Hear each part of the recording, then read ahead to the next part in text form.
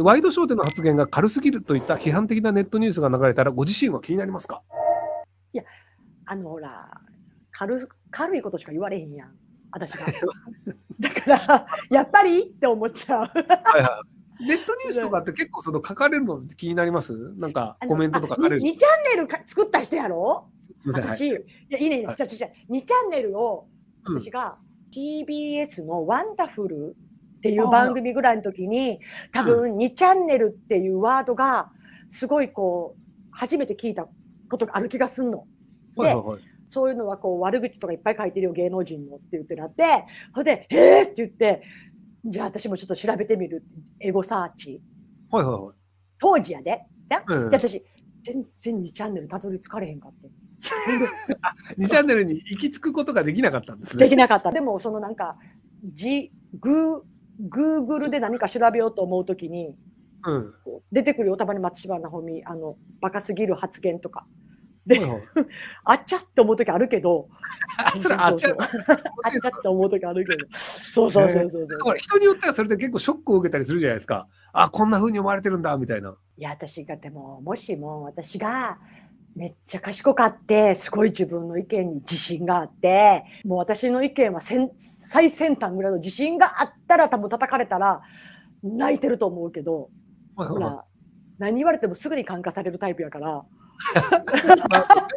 牛乳毒だって言って間違えちゃうそうそうそんなんやから、えーもうそこで勉強になるわけですよ。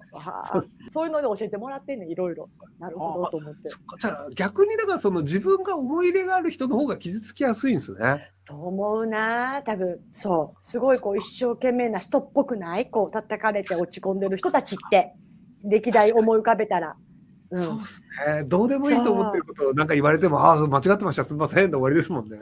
そう。自信ある意見。で自信ある意見のこと叩かれたらさ戦えるやん。はいはあ？みたいな。あそあじゃあ人は自信を持たない方が幸せに生きれるんだ。そう。だから私の口癖でわーって自分の意見言った後に知らんけどっていうね。わーって言った後にままあよう知らんけどってこうほんまにそうやねなんかににわか知識やから。そう。そう大阪の人のあのあベラベラだーって言った後に最後知らんけどって。あれうそうそうそうそう。まいですよねあれ。あれあれあれは多分そういう文化だと思う。そう。なん何言っても分からん知らん。じゃあ面白くないけど自分が知ってる範囲の話はわーって言うねんけどはいはいはい、で一応知らんけどって言ってそう。笑いにもなるしその責任え、うん責任責任逃れ。あそうそう。よくできたシステムだな大阪で。それでごめんな5分間も無駄な話に付き合わせて知らん話をと思いながら 感じないあそっうん。か、とさ標準語だとその 知らんけどみたいなそういう一言で その笑いと面積になる言葉がないんですよね。ちょっとさチャンネル登録よろしくお願いします